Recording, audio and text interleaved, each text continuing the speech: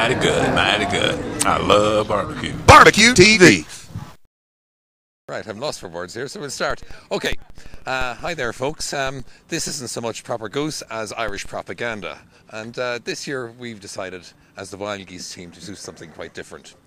Because it's 400 years ago since the Wild Geese left Ireland in 1607, we've decided to celebrate it by cooking a goose.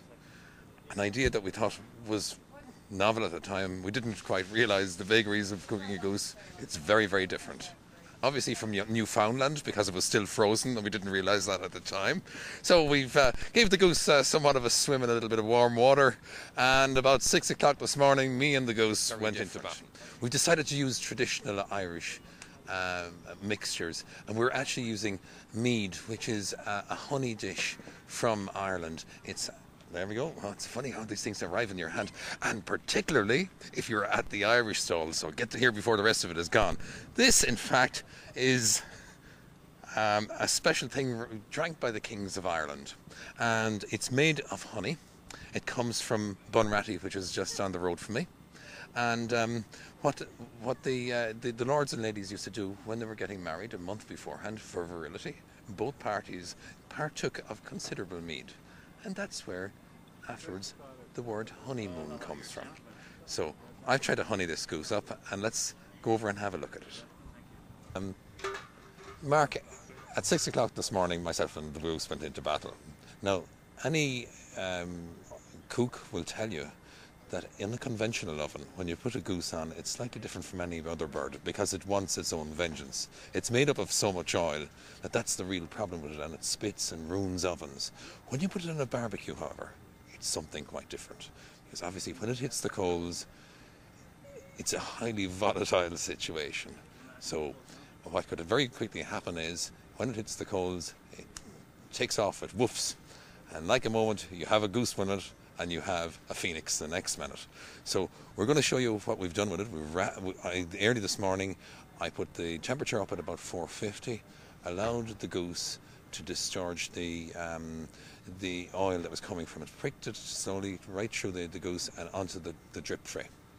We brought, we brought the once we had it cooked, we we filled it with the filling that we had prepared earlier, which is made of primarily of plums, tomatoes, a little bit of pineapple, and some ginger and we put it into the goose, wrapped it tightly, more for our protection than for the goose's protection.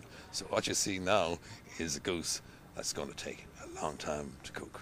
Um, we brought this. Uh, the second part of this goose is once you've done the first phase, you've gone through, through the transition, you've got the, the goose wrapped up. We bring the temperature down on the coals to 250.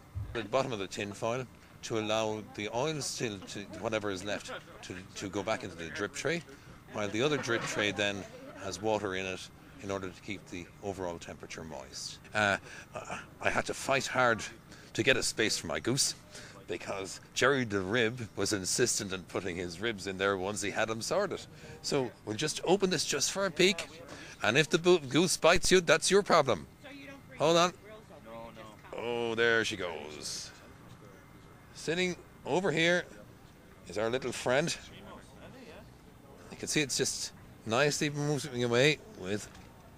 You can actually see the the oils still dripping out of her, and the goose must at this stage be on for the last two hours.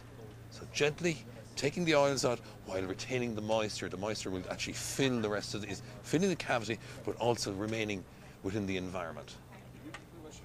Mark, I see um, this barbecue from two perspectives. I've come here um, both to cook, but I also have come here with the eyes of a marketer.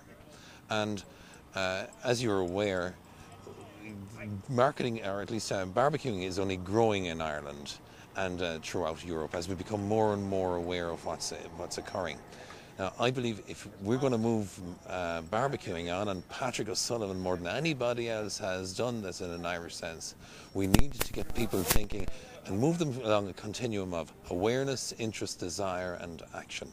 In other words, people starting to become aware that barbecuing is out there, becoming aware of all the different ways one can cook. And um, I hear a lot of people saying in Ireland, oh, for instance, um, how can you cook here? It's so wet, it's always raining. But people don't think you can actually cook outside and eat inside.